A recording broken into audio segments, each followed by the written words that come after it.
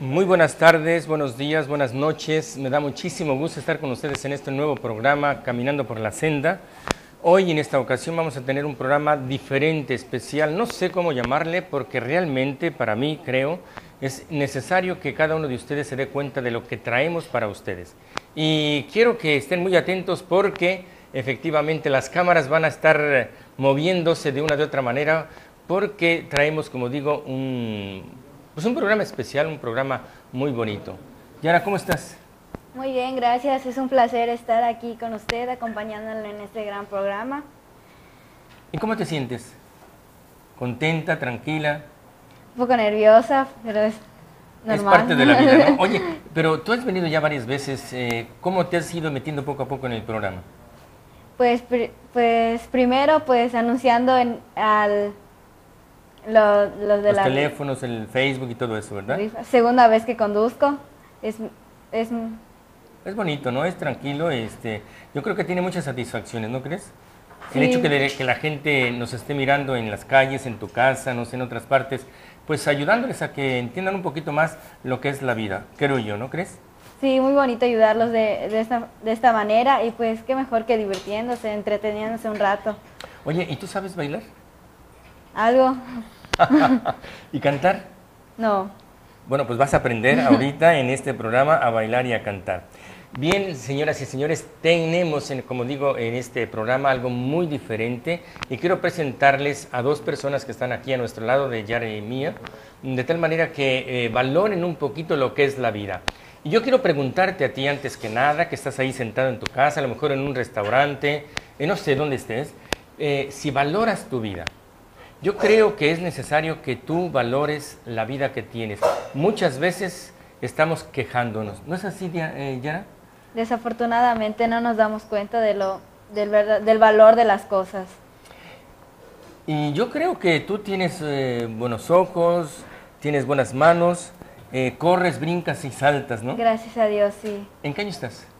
En segundo semestre de preparatoria. De preparatoria. Cuéntame un poquito cómo estás ahí en la preparatoria, tú cómo vives ahí el ambiente de tu preparatoria.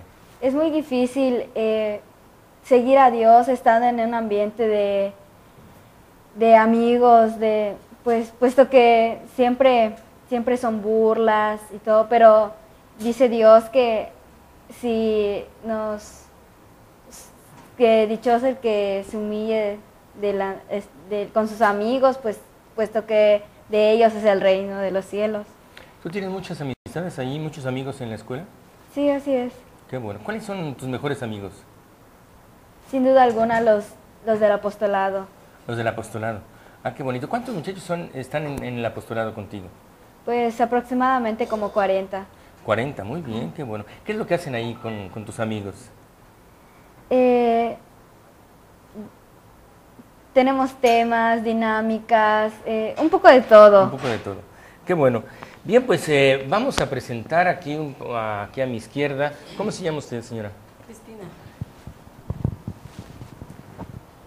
Cristina. Cristina. ¿Usted de dónde es? Yo soy de Temash. Temash. ¿Y sabe maya? Mm, Díganos algunas palabras en maya. Buenas tardes, buenas noches, ¿cómo están ustedes? Huasca y esas cosas, a ver.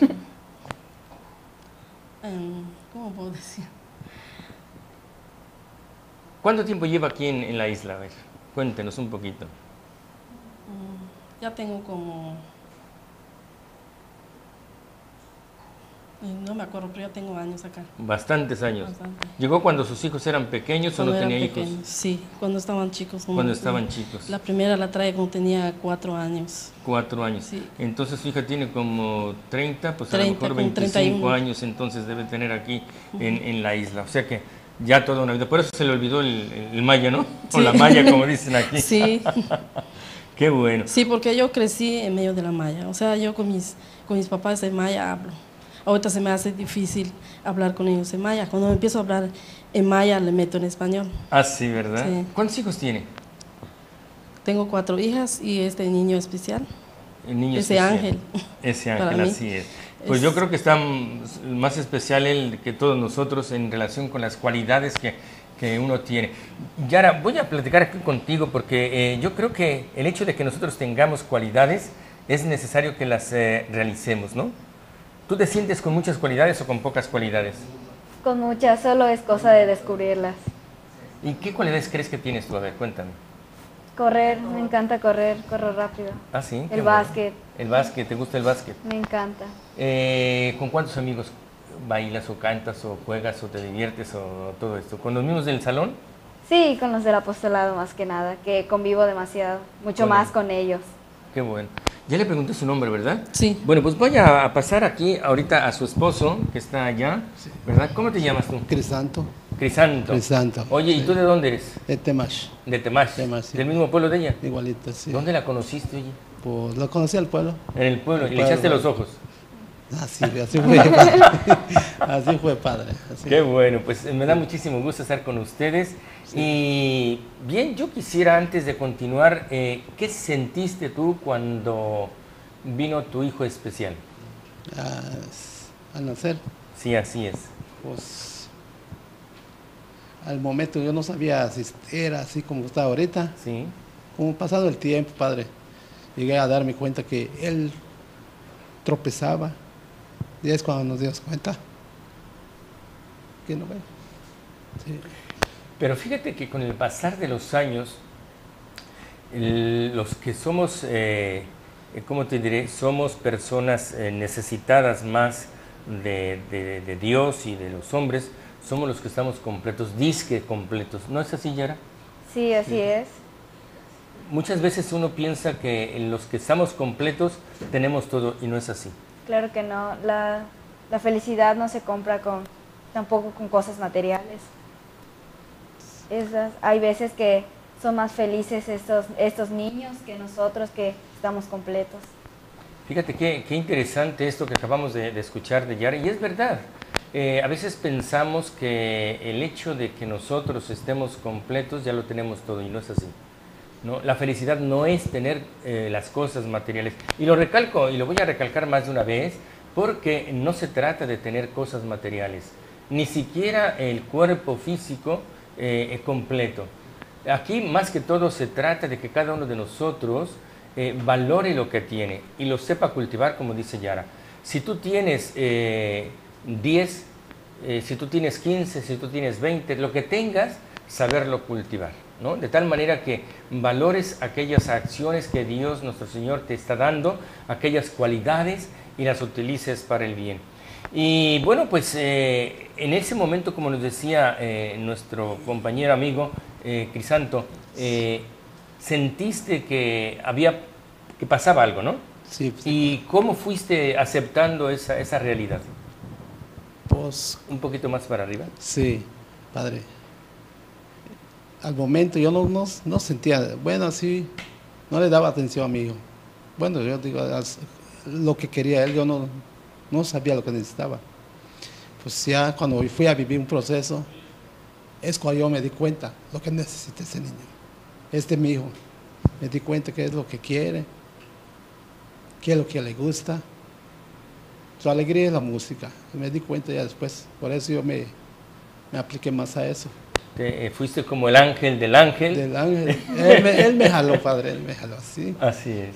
Me di cuenta que, pues antes yo así, cuando yo andaba solo así, él se acercaba a mí. Papá, me decía, invítame un- una sabrita, me dice.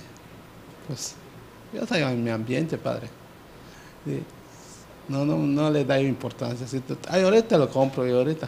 Eh, se lo compraba, pero siéntate allá, hijo, a tomar tu refresco, mientras yo estoy acá.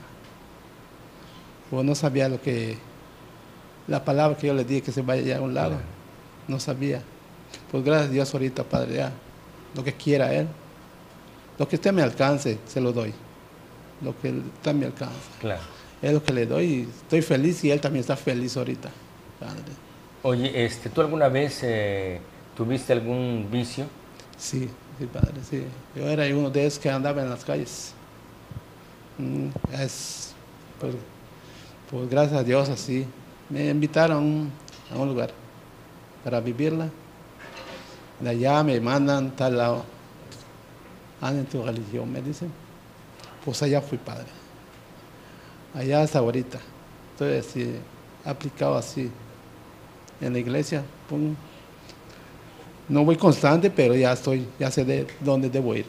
No andar en aquellos pasos que yo andaba antes por, por él, así ya. Claro. Ya estuve así, no, no, ya estoy así. Ya estoy consciente de lo que hago. Qué bueno. Sí.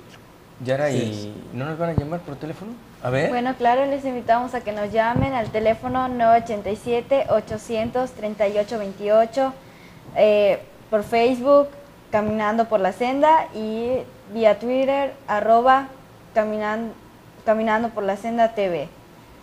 Bien, pues ahí están los, eh, los eh, mensajes, llámenos. La verdad, eh, he querido comenzar con este grupo, como lo vamos a ver ahorita, mm, regresando del corte, vamos a ver al hijo cómo se desempeña en la vida. Te aseguro que nosotros, tú y yo, que estamos viendo, viviendo nuestra vida, somos los discapacitados. Regresamos dentro de un momento. ¿No es así, Yara? Claro que sí, no se vayan.